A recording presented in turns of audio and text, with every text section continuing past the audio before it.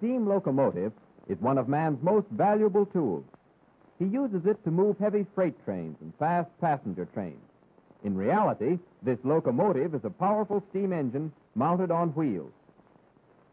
A cross-section model of a steam locomotive shows us the firebox, the boiler, the largest part of the locomotive, and the many fire tubes passing through the boiler,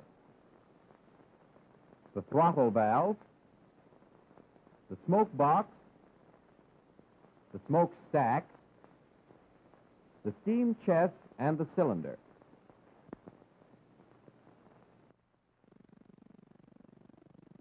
Hot gases and smoke from the firebox pass through the fire tubes, heating the water in the boiler, through the smoke box, and out the smoke stack.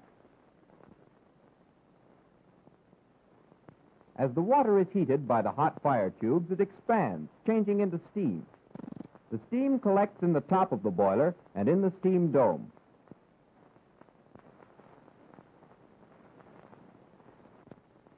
The sliding round valve in the steam chest controls the flow of steam through the ports or openings connecting the steam chest with the cylinder.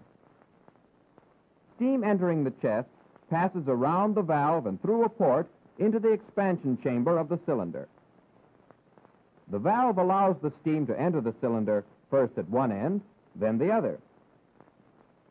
As the piston moves back and forth, the steam expands through the exhaust pipe, out the nozzle, and up the stack.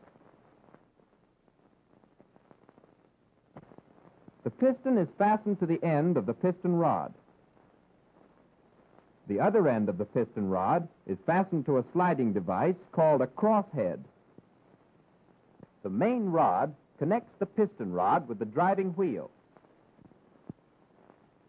When enough steam pressure is created in the steam dome, the engineer opens the throttle valve, allowing the steam to flow through a pipe to the steam chest. The steam flows past the valve into the cylinder, where it expands, forcing the piston ahead of it. The steam escaping through the smokestack gives the locomotive its chugging sound. Locomotives are taken to the engine terminal after every trip. They are moved in the engine terminal by an engineer called a hostler.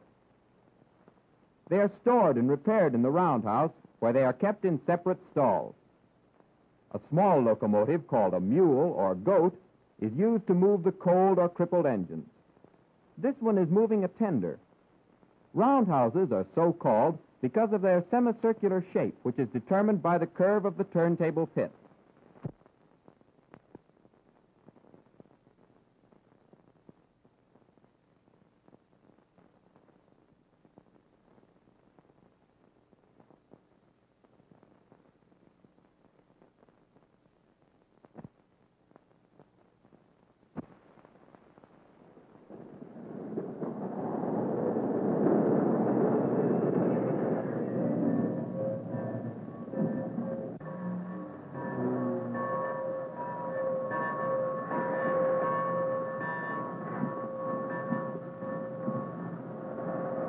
A sand tower stands between the incoming and outgoing tracks of the engine terminal.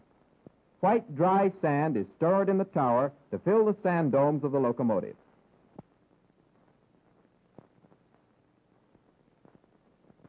A valve in the tower is held open by a rope lever. It allows the sand to flow through the pipe into the sand dome. Sand is used for starting locomotives on slippery tracks. It is dumped in front of the drivers from pipes leading down from the sand dome. It is also blown through the fire tubes to clean out the soot to improve the draft of the fire box.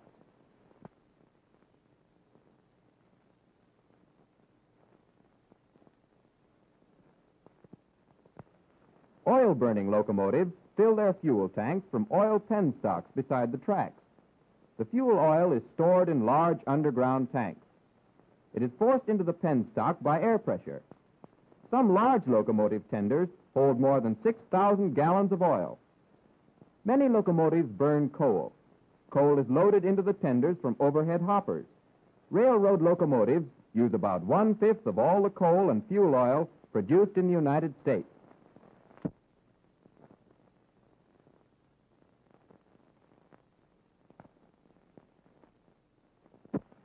Locomotives use a great quantity of water to produce steam.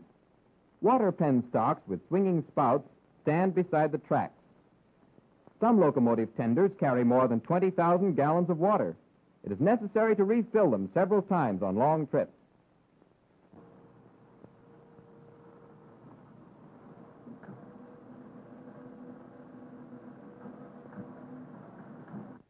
After the locomotive has been serviced, it is run onto the turntable and turned around to its stall. The controls for the turntable are in the small cab on the side of the turning platform. The turntable operator locks the tracks together by forcing a locking bar between the rails. The hostler may not move the locomotive on or off the turntable until the operator motions for him to do so. The turntable operator pilots the locomotive in and out of the roundhouse.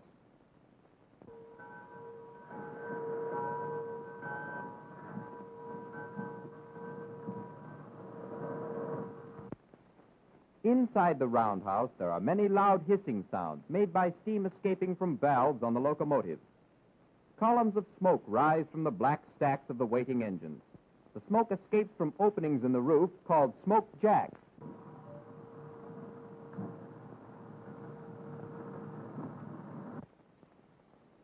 When a locomotive is called for duty, the hostler backs it out of the stall onto the busy turntable. It is then turned around to the service track.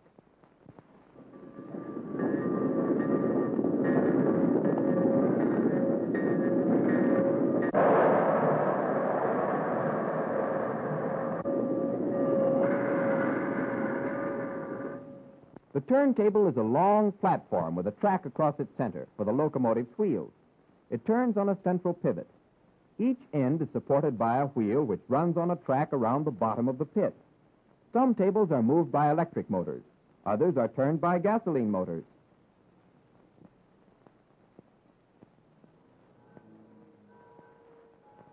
Locomotives must pass inspection before they are allowed to leave the terminal.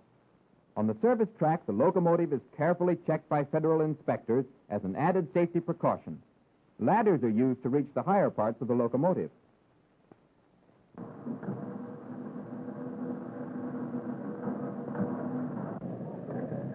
The side rods and other moving parts are tested by ringing them with a small hammer. The inspector's trained ears can tell if they are cracked or damaged by the ring of the steel. When the locomotive has been approved, it is again backed onto the turntable and turned around to the outgoing track, where it will be groomed for its next job. Railroad men are proud of their iron horses. Locomotives and tenders are carefully washed before each trip. Cleaning chemicals are sprayed from hoses. Long handled brushes loosen the dirt, which is washed away by jets of water. Cleanliness is important to keep the locomotive strong and in good running condition. Sharp, sandy grit and dust that would grind away the metal are washed from the drivers and rods with boiling water. Hot water is used to loosen the oil and grease that holds the grit to the working parts of the locomotive.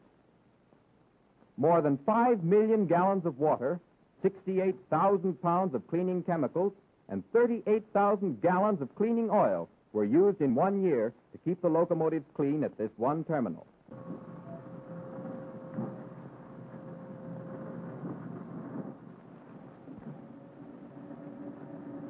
After the locomotive has been thoroughly washed, it is carefully wiped drawled weights are used by the wiper to clean and dry the engine.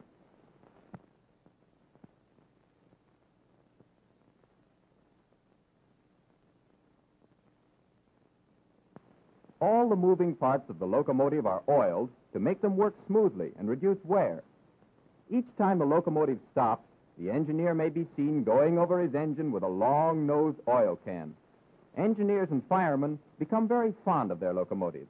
They give them the best of care. When the locomotive is ready, the engineer climbs into the cab. With a full head of steam, the locomotive will chug out of the engine terminal, all shiny and bright, headed for the train yard.